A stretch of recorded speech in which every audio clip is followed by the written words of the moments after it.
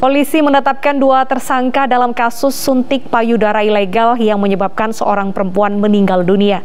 Tersangka diketahui telah menjalankan bisnis ilegalnya sejak tahun 2004.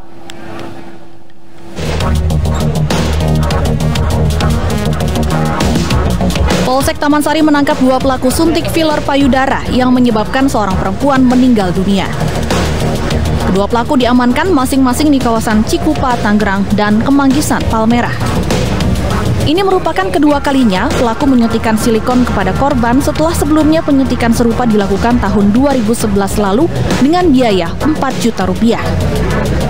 Dari tangan pelaku, polisi mengamankan barang bukti berupa cairan silikon, alat suntik, hingga obat bius.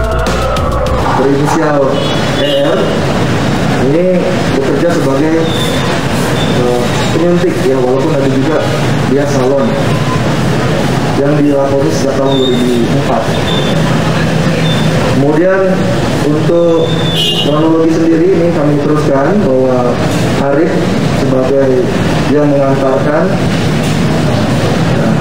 bersamanya itu dari hasil kerjanya dia dibayar nah, sejumlah 500 ribu.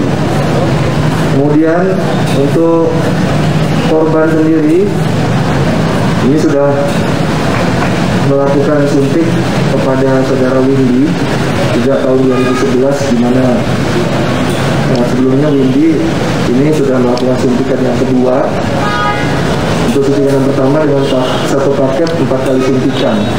Sebelumnya, seorang perempuan berinisial RDC ditemukan meninggal dunia di sebuah kamar hotel pada hari Sabtu lalu. Korban diduga tewas usai menjalani suntik filler payudara. Tim Liputan iNews melaporkan.